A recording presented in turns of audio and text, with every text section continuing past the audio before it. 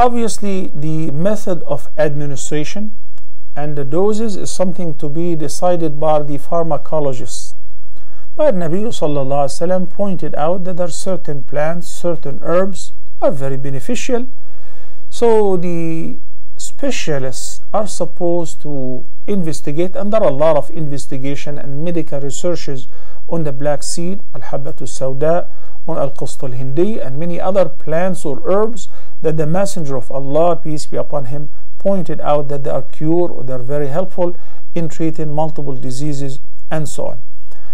Uh, I remember once I went to a press place where I personally pressed the black seed cold press because what matters in, in such herbs is the active ingredients which has the cure in it. Most of the active ingredients they get destroyed or they lose its efficiency via heating.